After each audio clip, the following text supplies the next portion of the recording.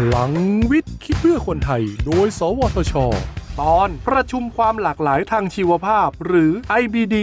2019 ประเทศไทยได้รับการจัดอันดับให้อยู่ในพื้นที่ที่มีความหลากหลายทางชีวภาพสูงสุด 8 อันดับแรกของโลก เพื่อรักษาระบบนิเวศและความหลากหลายทางชีวภาพ ให้คงความอุดมสมบูรณ์ และเกิดการใช้ประโยชน์อย่างยั่งยืน ประเทศไทยจึงเป็นเจ้าภาพจัดงานประชุมวิชาการนานาชาติ ด้านความหลากหลายทางชีวภาพ หรือ IBD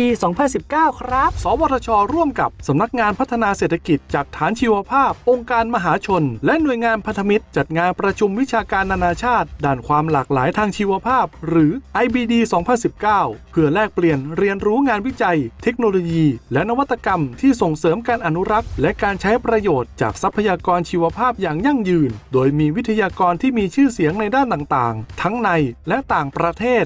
116 คนจาก 27 ประเทศ มาบรรยายให้ความรู้ พร้อมทั้งจัดนิทรรศการ แสดงความอุดมสมบูรณ์ของทรัพยากรชีวภาพในประเทศไทย ตั้งแต่ยอดเขาจรดทะเล อาทิ นิทรรศการการติดตามสภาวะโลกร้อน ที่มีผลกระทบต่อพืชและสัตว์ เทคโนโลยีสารสนเทศ เพื่อความมั่นคงของทรัพยากรป่าไม้และสัตว์ป่า โดย สวทช และหน่วยงานพันธมิตร พัฒนาคนด้วยวิทยาศาสตร์ พัฒนาชาติด้วยเทคโนโลยี สอบถามรายละเอียดเพิ่มเติมได้ที่ สวทช 02 564 8000